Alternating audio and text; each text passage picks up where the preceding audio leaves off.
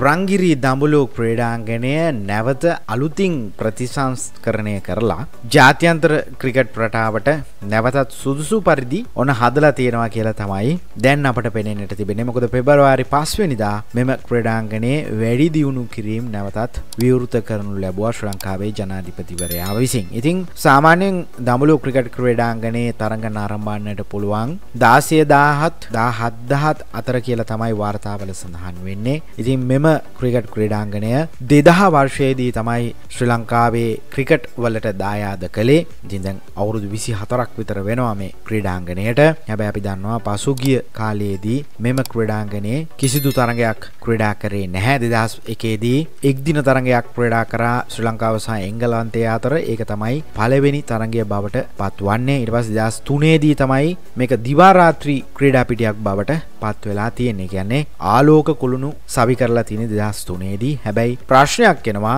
ජාත්‍යන්තර ප්‍රමිතියෙන් යුතු ආලෝක කුළුණුද සවි කරේ කියලා. පස්සේ මේකේ ආලෝක තත්ත්වය සම්බන්ධයෙන් ලොකු ගැටලු කාරී තත්ත්වයක් ඇති වෙලා තමයි අවසානයේදී මේ දඹුලු ක්‍රිකට් ක්‍රීඩාංගණය ශ්‍රී ලංකා ක්‍රිකට් ක්‍රීඩාවට නැත්නම් ශ්‍රී ලංකා ක්‍රිකට් පරම්පරාවට විශේෂම යොවුන් ක්‍රීඩකයන්ට පවා අහිමි වීමට පටන් ගන්න. ඉතින් දඹුල්ලේ විශේෂ අවස්ථා විදිහට සඳහන් කරන්න පුළුවන් 2010 ආසියානු කුසලානේ සම්පූර්ණ තරඟ පවත්වලා තියෙන්නේ දඹුල්ල ක්‍රීඩාංගණයේ. ඒ වගේම 2011 ලෝක කුසලානේ තරඟ පවත්වලා තියෙනවා. හැබැයි මේක ලොකු ප්‍රශ්නයක් බවට පත් වෙනවා 2013 දී විතර මේ ආලෝක තත්ත්වයේ ප්‍රශ්නය. ඉතින් 2013 2016 වගේ කාලය තුලදී නැවත ලොකුවටම මේකේ ආලෝක තත්ත්වයේ ප්‍රශ්නයක් ඇති වෙලා කුළුණු 8ක් තිබ්බ ආලෝක කුළුණු 4ක් දක්වා අඩු කරලා නැත්නම් LED ආලෝක කුළුණු බවට පත් කරලා තියෙනවා කියලා තමයි වාර්තාවල සඳහන් වෙන්නේ. ඊට පස්සේ 2016 දී නැවතත් දිවාරාත්‍රී තරඟ පවත්වලා තියෙනවා. ඕස්ට්‍රේලියානු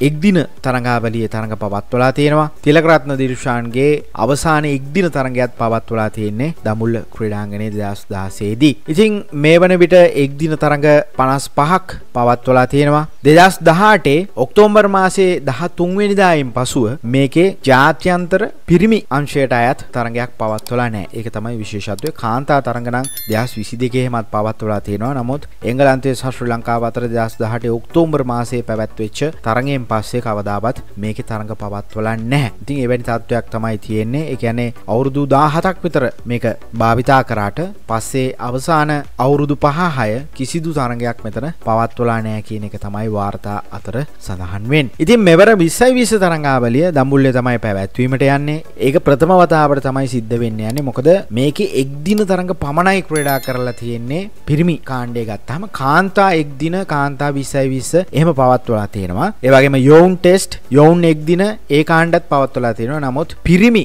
අංශයේ ජාත්‍යන්තර තරඟ වලට පවත්වලා තියෙන්නේ එක් දින තරඟ පමණයි. අතරම ඒක අපිට එහෙම මතකත් නෑ. අතීතය නිකන් මතක් කරලා බලපුවම මේකේ කිසිදු 20යි 20 තරඟයක් පවත්වලා නැහැ දඹුල්ලේ. එතකොට ඉතිහාසයේ ප්‍රථම වතාවට තමයි මෙවර 20යි 20 තරඟාවලියක් නැත්නම් 20යි 20 තරඟයක් ජාත්‍යන්තර මට්ටමේ පැවැත්වීමට යන්නේ. ඒකට ඉතාමත් හොඳ වටපිටාවක් දැන් තිබෙනවා. මොකද අලුතින්ම ඉතාමත් ප්‍රමිතියෙන් ඉහළ වාර්තාවල සඳහන් වන විදිහට ආලෝක කුළුණු දැන් සවි කරලා තියෙනවා කියලා කියන්නේ LED ආලෝක කුළුණු. එතකොට ඒ වගේම ඒවා ටිකක් වෙනස් ආකාරය අපි දැක්කා මේ එක්දින ලෝක කුසලානි ඉන්දියාවේදී පැවැත්වෙද්දී අර තරඟ අස්සේම විවිධ රටාම වන එක එක ආලෝක ධාරා දාන්නට පුළුවන් ක්‍රීඩාංගන තිබ්බා විශේෂයෙන් මගේ මතකයේ හැටියට හයිදරාබාද් චෙන්නයි වගේ ක්‍රීඩාංගනවල ඒ වගේ ඒවා තිබ්බා වගේ මගේ මතකයක් තියෙනවා මගේ මතකේ නිවැරදි නම් කොහොමුණත් ඉන්දියාවේ තියෙනවා ඒ වගේවා. ඉතින් ඒ වගේ අර ආලෝක රටා එක එක දාන්නට පුළුවන් තරඟයේ අතරතුරදී නැත්නම් අර පොඩි පොඩි බ්‍රේක් වලදී එක එක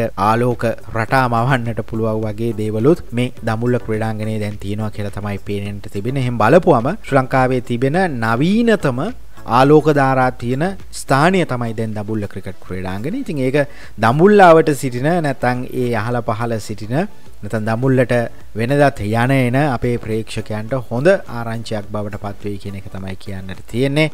ඉතින් ඉතිහාසයේ ප්‍රථම වතාවට පෙබරවාරි 17 19 සහ 21 දමුල්ල ක්‍රිකට් ක්‍රඩාංගනේ විසයි විස තරඟාවලයක් පැවැත්වීමට නියමිතයි. ඉතින් තනතිලි සම්බන්ධයෙන් එහෙම අපි හරියටම දැන් දන්නෙත් නෑ උතන කාලයක් තිස්සේ ක්‍රීඩා කරලා නැති නිසා. බලමු මොකද වෙන්නේ කියලා. කොහොමද වටා පිටාව සහ පහසුකම් අතින් ගත්තාම දැන් සෑහෙන හොඳ ස්ථානයක් බවට පත් වෙලා තියෙනවා කියලා තමයි පෙනෙන්නට තිබෙන්නේ. රංගිරි දමුල්ල ක්‍රිකට් ක්‍රීඩාංගනේ channel එක subscribe කරන්න. සීනුව ඔබලා වැඩසටහන් අපගොම්ම දැනගන්න. අපගේ YouTube නාලිකාව Facebook පේජය ඉන්ස්ට්‍රග්‍රම් ටික්ටොක් සියල්ලම ෆලෝ කරන්න